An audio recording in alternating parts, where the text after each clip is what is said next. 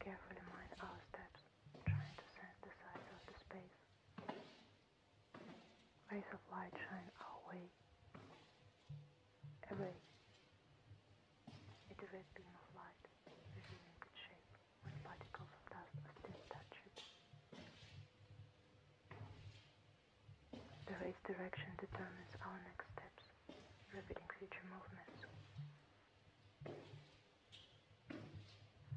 Meanwhile, I ponder on light going from the past to the future.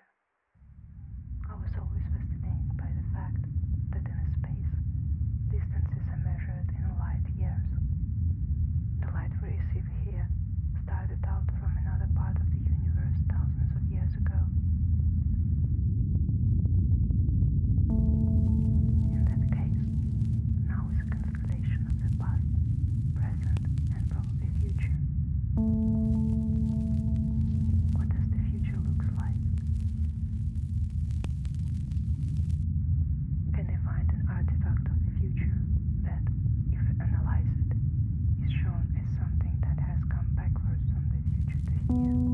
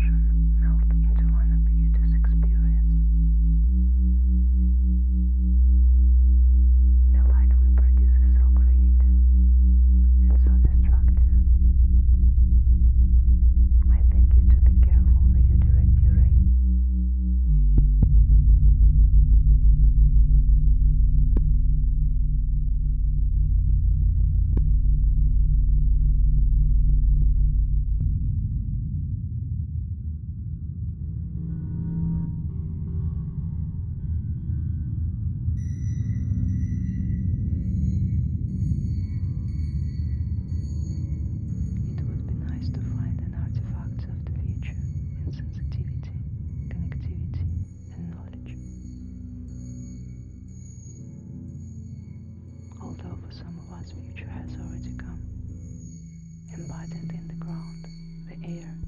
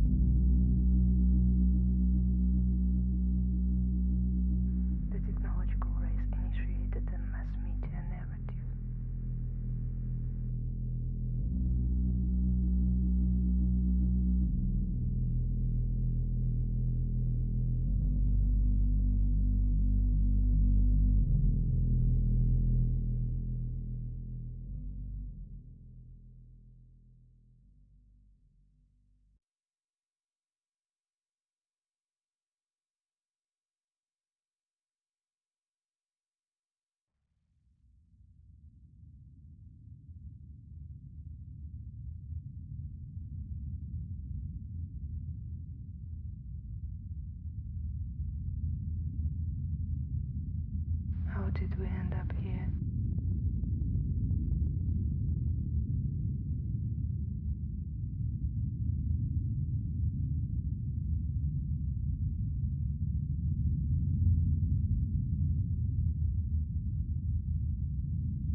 The light of ideas brought us hope to go beyond any boundaries. It provided us with an energy to permeate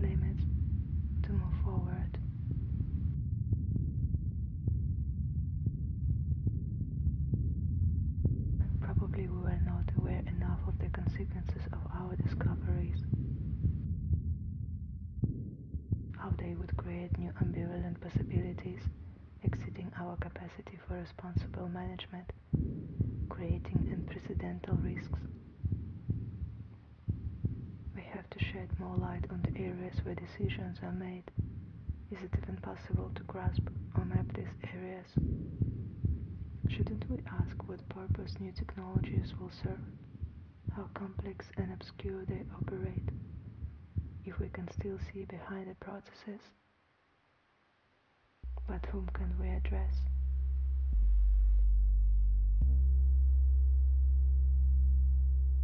I look at the ray of light revealing itself as a technology of communication. The light of information travels through an optical fiber, moves on underground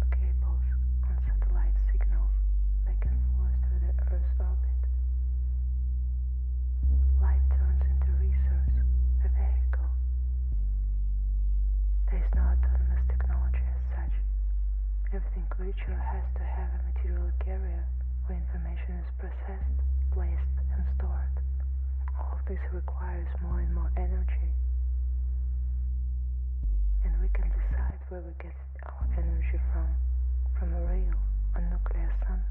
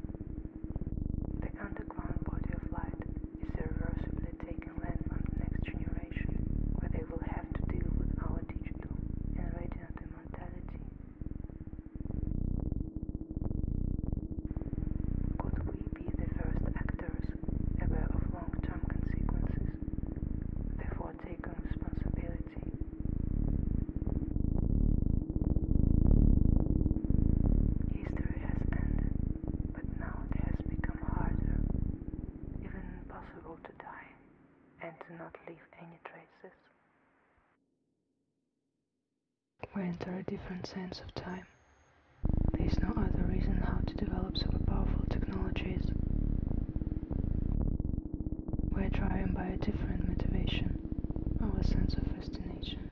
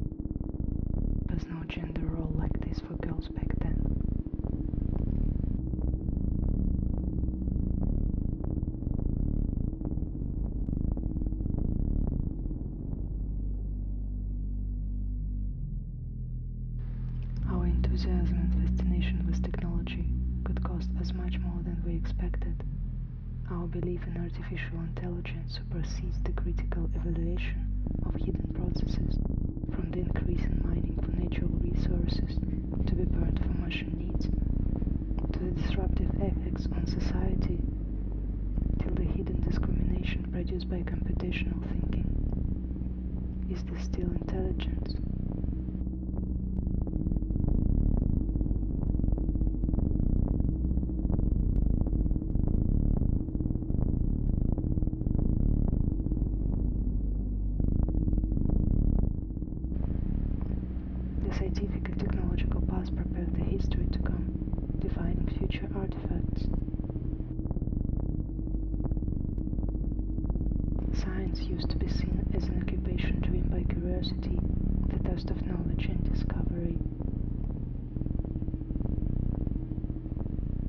There is an invisible crossroads area where the decision to bring scientific theory into practice is made. Can we even imagine how vast this area is that is predetermining what will be realized in the future? By what parameters it is shaped? How can we sense the limits?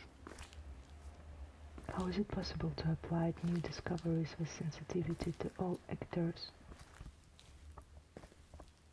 Would we look at light as a transformative force? Our presence is structured by technology.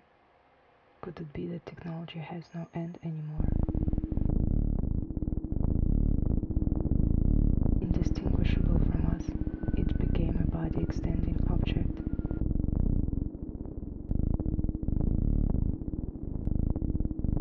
And we have to rethink what it means to be human next to our technologies and more.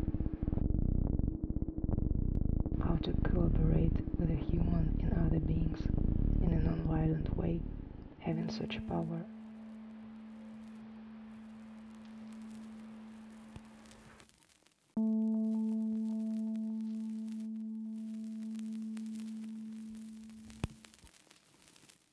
Did we touch something in this journey for artifacts of the future that we want to preserve and keep with us? Something that we want to belong to our future.